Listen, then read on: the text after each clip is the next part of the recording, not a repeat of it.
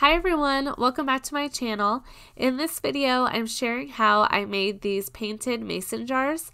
I'll show you how I used my Cricut to make a stenciled leaf. This leaves a little window into the jar where you can see the tea light glowing inside. I have these on my fireplace mantle and I think they would look really cute as table centerpieces. First, I'll show you how I put together the leaf in Cricut Design Space. Going to upload my leaf. So I'll go to upload and I'll find my image.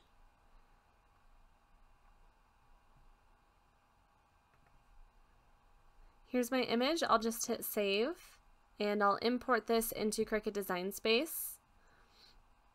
I'm going to make this just a little bit smaller to see it easier. This is another SVG available for patrons and I always have that link for my Patreon account down below. So I've already measured my mason jars and I am going to make it 3 inches by 3 inches. I'm making three mason jars, so I'm going to duplicate this two times. This is going to be used as a stencil, so it doesn't matter what color I use for the leaves. So I'll click on Make It. I'm just going to move these out just a little bit. I'll hit Continue. I'm using adhesive vinyl for this stencil, so I am going to search for vinyl. I'm just going to select the regular vinyl setting. And the vinyl I'm using is Oracal 651 vinyl. Now we're ready to cut this out on my machine. I placed my vinyl on my mat. I'm using Oracal 651 vinyl. This maroon color came in a multi-pack and I've never found a use for that color. It doesn't matter what color you use for the vinyl because it is just acting as a stencil. Even though 651 is permanent vinyl, it still works to peel it off. I've never tried Oracal 631 vinyl as a stencil, but I'm sure that would work as well. Once the Cricut is done cutting the vinyl, I'll take the vinyl off the mat, cut out the design, and weed out the excess vinyl. I take the lids off the jars because I won't be needing those for this project. Next, I grab a paper towel and rubbing alcohol. I do not recommend skipping this step. This will help the paint adhere to the glass. After you've used the rubbing alcohol, be careful not to touch the glass with your fingers. I like to put my hand inside of the jar when I'm working with it. Then I grab my transfer tape and place it over my vinyl. I use the Duck brand contact paper from Amazon or Walmart for my transfer paper.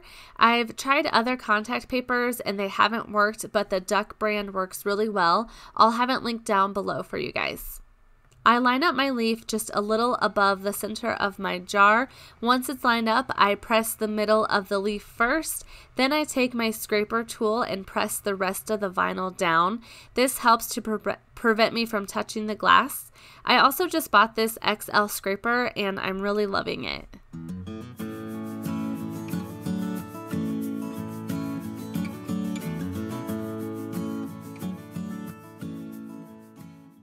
I do the same thing for the other two mason jars and I reuse that same transfer sheet for the other two leaf decals.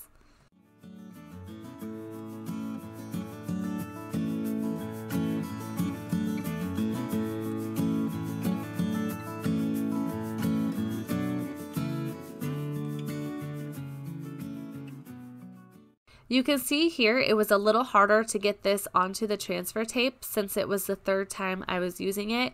It really helps to turn the decal around and scrape the back of it.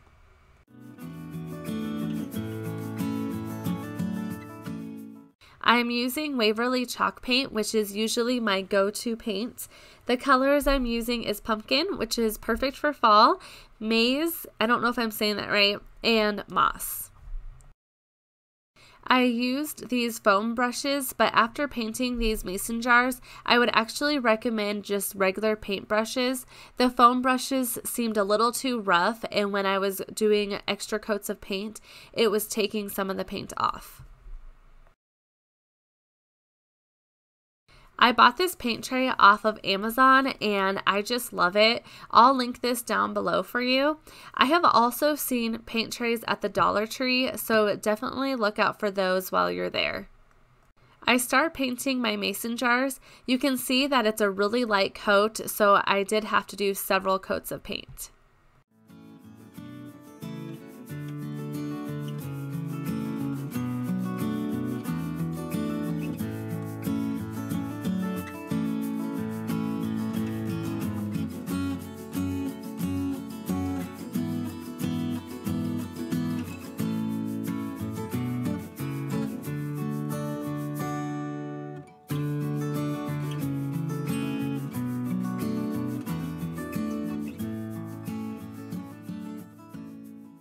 You can see here when I was painting over the jar, it was taking some of the paint off. I would recommend once again to use a regular paintbrush. I would also recommend waiting several hours for the paint to fully dry before doing a second coat. I ended up doing that and just adding paint over those spots that weren't fully covered. If anyone has any tips for painting over glass, let me know because that was a little bit difficult to get it fully coated with paint.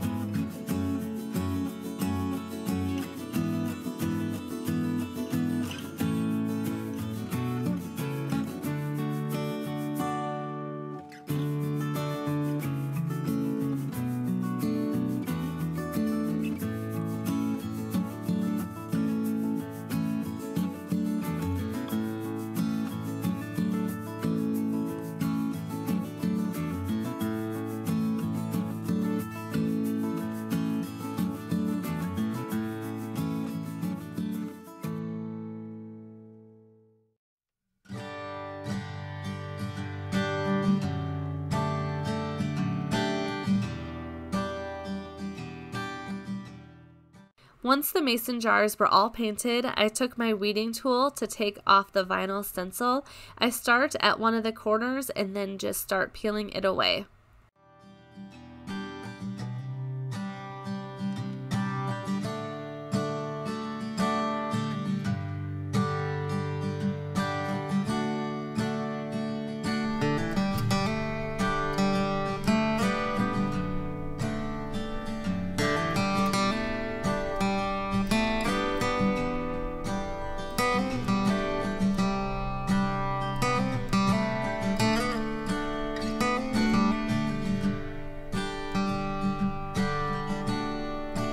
I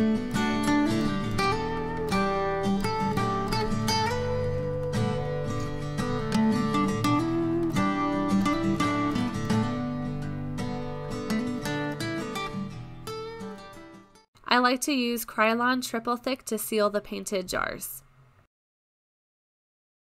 I found these flowers at the Dollar Tree. The Dollar Tree flowers aren't as great of quality as Michael's or Hobby Lobby, and you can find those flowers on sale, but I still like the way that these turned out. I use my wire cutters to cut off the stems of the flowers. At first, I didn't cut the stems short enough because you could see them through the leaf, so I cut them a little shorter so you couldn't see those. I'm using LED tea light candles that I found at the Dollar Tree. It says each candle lasts 120 hours. My mason jars are tall, so I had a hard time getting the candle to land flat in the mason jar. So I ended up using my Cricut tweezers to get it to stand up straight, and that actually worked really well.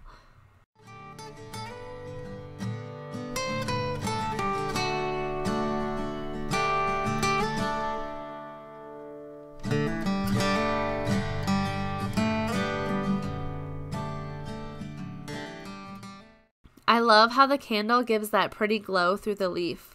I do the same thing for the other two mason jars.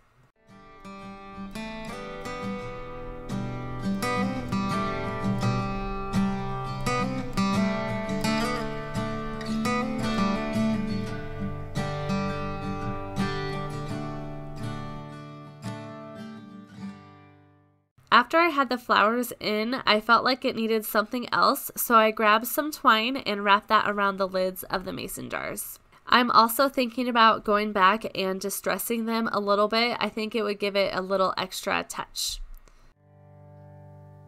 These were extremely fun to make and I love how they look on my fireplace. Give this video a thumbs up if it gave you some fall crafting inspiration. Subscribe if you're new to my channel for more videos like this one. Hit the notification bell if you don't want to miss any of my videos and don't forget to check out my Patreon account in the description box below.